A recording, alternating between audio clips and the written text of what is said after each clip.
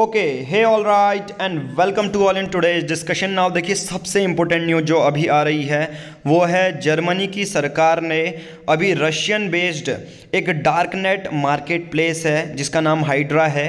Hydra के अंदर बहुत ग्रुप ऑफ़ पीपल काम करते हैं और उस डार्क नेट मार्केट प्लेस को चलाते हैं। अभी जब यहाँ पर इलीगल चीज़ें हो रही हैं तो जर्मनी की सरकार ने इस सबसे बड़ी डार्कनेट मार्केट प्लेस जो रशियन पीपल को सर्व करती है, उसको पूरी तरह शट डाउन कर दिया है। समझ में आ रहा है कि Germany Germany shuts down Russian darknet market place Hydra समझ में आ रहा है?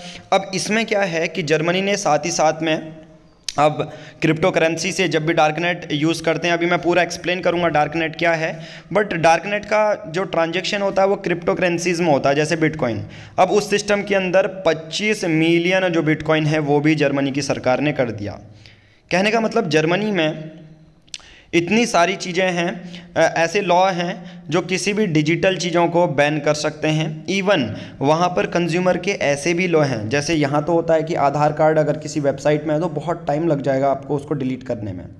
आपकी फेसबुक में कोई वीडियो है पर्सनल आप नहीं चाहते कि वो जो वीडियो है वो दूसरों तक जाए और आप डिलीट करवाना चाहते हो और वो किसी दूसरे अकाउंट से पोस्टेड है। तो जब आप ये ईमेल करते हो तो बहुत लंबी प्रोसेस से आपको गुजरना पड़ता है, क्योंकि ये फेसबुक किसके बेसिस पे काम करता है? इंडिया के कानून के अंदर। अब देखिए तो मैं यही बात कर रहा हूँ कि डार्कनेट डार्कनेट से रिलेटेड, जितने भी साइबर क्राइम से रिलेटेड जो कानून है, जो भारत में ऑपरेट करते हैं, वो आईटी एक्ट के अंदर आते हैं। आईटी एक्ट 2000 अभी हाल ही में टिकटॉक बैन हुआ, ये सब। अभी कल की एक न्यूज़ थी 22 यूट्यूब चैनल बैन हो गए। एंटी इंडियन सेंटीमेंट और फेक न्यूज़ फैलाने में तो ये सब आईटी एक्ट के अंदर होता है। बट हम बात करते हैं हाइड्रा की, ठीक है? क्योंकि ये सब चीज़ें आपको पता होनी चाहिए इससे पहले कि बिटकॉइन से ट्रांजैक्शन जो होता है वो क्रिप्टो करेंसीज वाली ट्रांजैक्शन होता है जो डार्कनेट चलाती हैं, ठीक है? अब हाइड्रा क्या है? हाइड्रा उन कंज्यूमर को टारगेट करता है जो रशियन पीपल से हैं। नारकोटिक्स जैसे मॉर्फिन, ओपियम, इन सबको बेचा जाता है इसमें। बट हाइड्रा इतने तक तो ठीक था। जब पता लगा जर्मनी की सरकार को कि जो हाइड्रा है, वो लोगों के क्रेडिट कार्ड का डेटा चोरी कर रहा है काउंटर फीट करेंसी नकली नोट बना रहा है, फेक आइडेंटिटी डॉक्यूमेंट बना रहा है और जो लोग टॉर इंक्रिप्शन नेटवर्क का यूज़ कर रहे हैं, उनके लिए फेक मास्किंग बना रहा है। मतलब एक ही नाम के वो सौ नाम बना दे रहे हैं। ठीक है? पंकज बोरा के वो सौ पंकज बोरा कर दे रहे हैं। अब जानने में दिक्कत, इससे सबसे बड़ी इलीगल करप्शन बढ़ेगा। अब साथ ही साथ तो जर्मन पुलिस ने देखा कि क्या चीज़ें चल रही हैं तो उन्होंने that have shut down server of the world largest illegal darknet market place Hydra and seized bitcoin worth 23 million euros 25 million dollar जो हैं वो सीज भी कर लिए। तो जर्मन की पुलिस ने ये चीज़ें अभी की।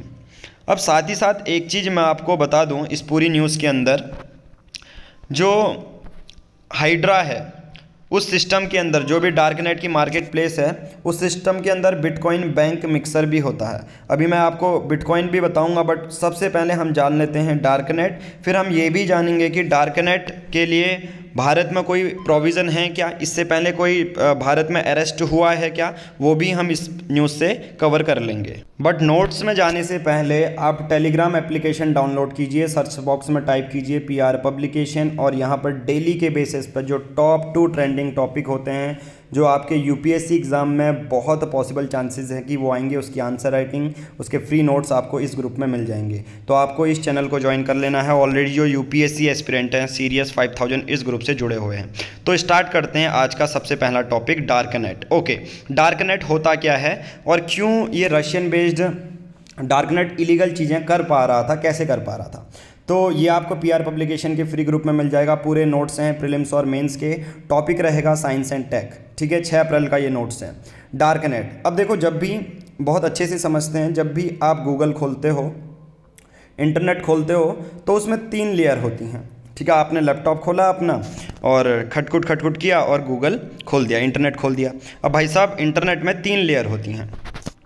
जो पहली लेयर होती है पब्लिक वाली होती है consisting of sites that one uses frequently such as Facebook Twitter Amazon और लिंकडिन अब साथ में आपके एग्ज़ाम्पल के लिए बेसिस पे आप vision I S Drishti I S Vajiram ये सब, अलाना फनाना, आप सर्च करते रहते हो। तो ये आपको पब्लिक में मिल जाती है तो ये पहली लेयर होती है इंटरनेट की, जो सभी एक्सेस कर सकते हैं। आप भी कर सकते हैं, मैं भी कर सकता हूँ।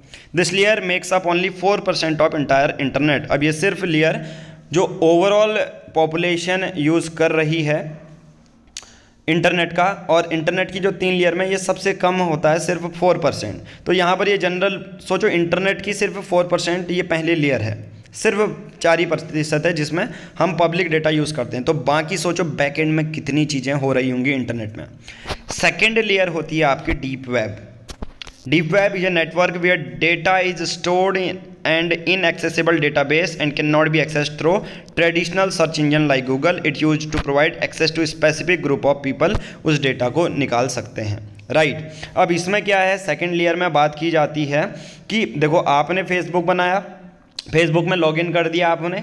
तो आपका name date of birth phone number ये डेटा कहाँ स्टोर होगा?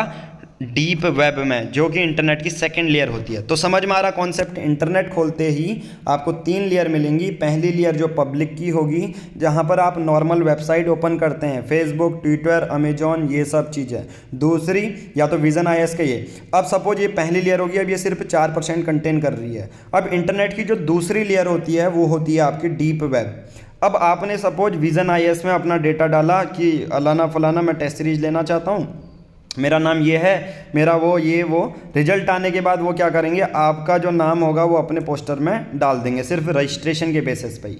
अब वो जो डेटा है, वो जो स्टोर होगा, आपका नाम, पता, आपने तो रजिस्टर कर लिया, उसमें पता नहीं है ईमेल आईडी फ़ोन नंबर डाल दिया, आपने रैंक वन लेके आ गए आप।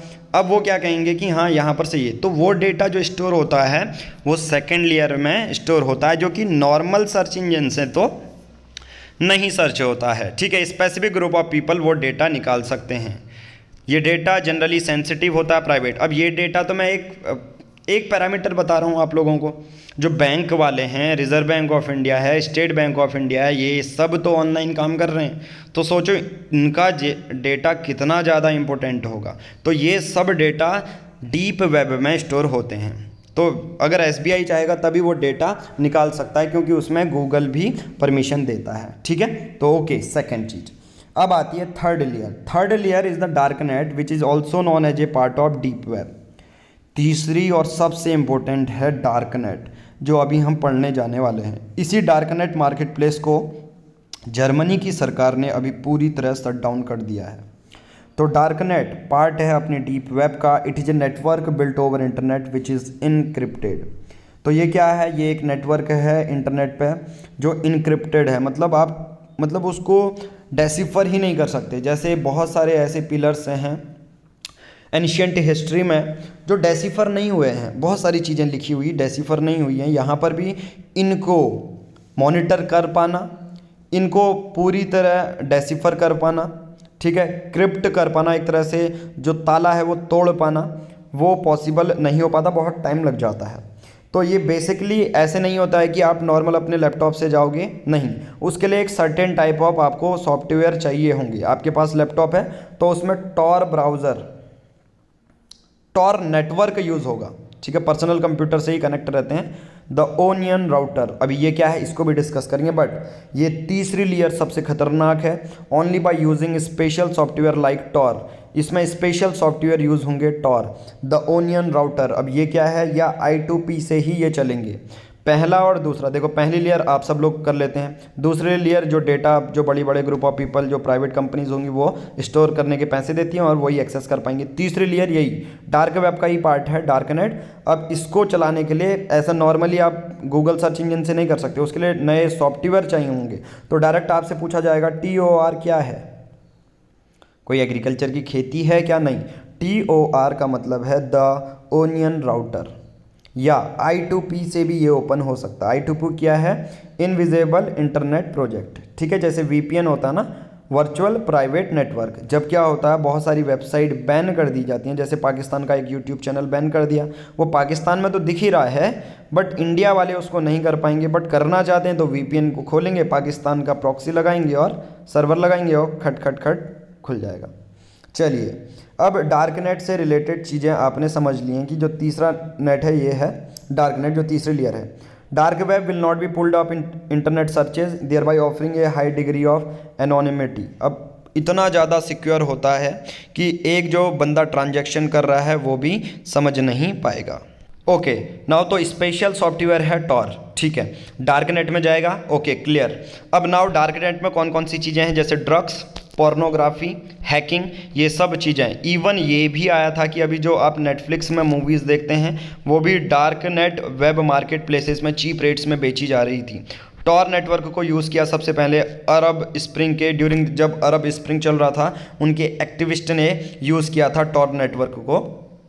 ताकि जो अपने बेसिस पे इंटरनल डिस्प्यूट चले थे तो अपनी इन्फॉर्मेशन फैलाने के लिए और वो पकड़े भी ना जाएँ तो टॉर नेटवर्क का यूज़ करते थे। सोचो टॉर नेटवर्क अगर आज़ादी से पहले होता तो हमारे लोग भारतीय कितने सातिर थे कि इतने अंदर ही अंदर एक दूसरे से पॉलिटिकल रिलेशन बना देते थे। सोचो टॉर नेटवर्क होता तो फट फट फट फट फट फट सॉफ्टवेयर और पहले ही भारत देश आज़ाद भी हो जाता। चलो, उसके बारे में बाद में बात करेंगे but dark net and India हमारे भारत में ऐसी कुछ चीज़ें होती हैं तो उसको हम कंट्रोल कैसे करेंगे? वो है उसके लिए हमारा आईटी एक्ट 2000 ठीक है? और उसके बाद आईटी एक्ट 2008 है, जिसमें सेक्शन 69 ए है, जिसका मतलब क्या होता है कि अगर कोई भी फेसबुक में ऑफेंसिव कंटेंट पोस्ट करेगा तो उसको जेल में डाला जा सकता है, ठीक है?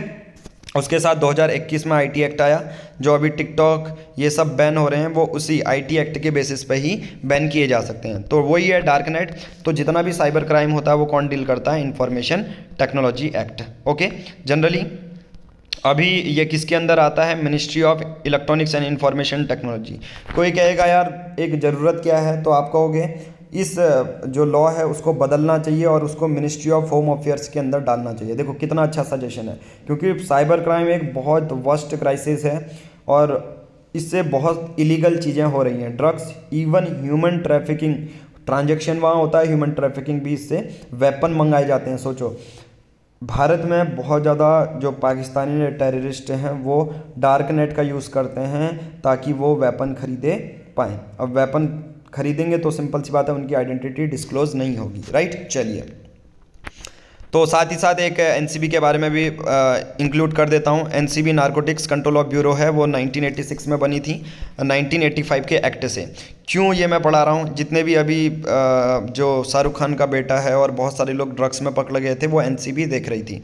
एनसीबी का एक्ट 1985 वाला है, ये चीज़ याद रखना, ठीक है? एक्ट एक्ट का मतलब कोई बिल लोकसभा में पास हुआ, राज्यसभा में पास हुआ। अब ये न्यूज़ मैं इसलिए पढ़ा रहा हूँ क्योंकि एनसीबी ने सबसे पहले अरेस्ट किया था कंट्री का फ़र्स्ट मतलब भारत का फ़र्स्ट डार्कनेट नार्कोटिक्स ऑपरेटिव जो एन डी पी एक्ट के अंदर ही होता है। तो समझ में आ रहा है? एन ने अरेस्ट किया था पहले डार्कनेट को। ठीक है जो मॉर्फिन ये सब ड्रग्स वगैरह बेच रहा था तो एन सी बी ने अरेस्ट किया था। समझ में आ गया? तो ये है आपका आज के नोट्स अब साथ ही साथ मैं आपको बिटकॉइन बैंक मिक्सर भी बता देता हूँ। बिटकॉइन क्रिप्टो करेंसी है। जनरली इसमें सिस्टम होता है आपका आ, कि आप ट्रांजेक्शन कर रहे हो दूसरे को बिटकॉइन में तो इसमें थर्ड पार्टी क्या होती है, वो ट्रांजेक्शन को ऐसा बना देगी कि आप आइडेंटिफाई भी नहीं होगे। तो इसी को कहते हैं बिटकॉइन बैंक मिक्सर ओके अब एक और टॉर क्या है? टॉर है द ओनियन राउटर फ्री और ओपन सोर्स सॉफ्टवेयर है।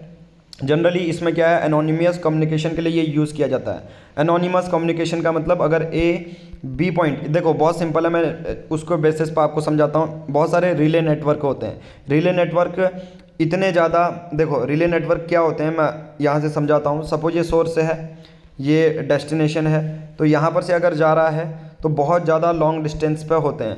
तो सिंपल सी बात है, इनके बीच में रिले नेटवर्क होता है। अब इतने ज़्यादा दूर हैं तो इनकी आइडेंटिटी कैच कर पाना बहुत ज़्यादा डिफ़िकल्ट हो जाता है। तो यही रिले का यूज़ करता है। तो बहुत सारे यहाँ पर तो सिंपल सी बात है, यहाँ पर डायरेक्ट लिंक का एब्सेंस होगा। ठीक है? तो ये पीडीएफ भी आपको उसी में मिल जाएगी। देखिए राउटर लिस्ट यहाँ पर क्लाइंट काम कर रहा है। इतने एंट्री गार्ड होते हैं, इतनी लेयर होती हैं, जिसमें कि आपकी, यानी कि किसी एक्स पर्सन की आइडेंटिटी पूरी तरह छुपाई जा सकती है। ठीक है? तो ये है अपना टॉर द ओनियन राउटर इसमें रिले नेटवर्क का यूज़ होता है अपनी आइडेंटिटी छुपाने के लिए। ठीक है? तो अभी हाल ही में क्या हो रहा था? बहुत सारे जो हाइड्रा है, वो क्या कर रहा है? लोगों के क्रेडिट कार्ड का डेटा ये सब चोरी कर रहा है। अब नाउ देखिए, आप हमारे डेली के पेड कोर्सेज भी ज्वाइन कर सकते हैं। हमारे दो कोर्सेज हैं राइट फ़र्स्ट है level of current affair batch date wise current notes crisp notes होंगे पूरे एक साल के लिए हैं। दस अप्रैल तक टू नाइन्टी नाइन रुपीज़ इनका प्राइस है। Seven five zero five one three four eight nine one में गूगल पे फ़ोनपे करके हम आपको इसमें ऐड कर लेंगे। सेकंड आप डेली यूपीएससी आंसर राइटिंग करना चाहते हैं तो राइट विथ अस ग्रुप है, इसको ज्वाइन कर सकते हैं। इसकी भी price two ninety nine rupees है, जिसमें आंसर इवेल्युएशन होंगे वॉइस नोट होगा, हर संडे को एक एथिक्स ऐसे का क्वेश्चन कराया जाएगा। सिमिलर प्रोसीज है इसको लेने का, और P R publication mobile application download कर सकते हो इनको लेने के लिए। Thank you have a nice day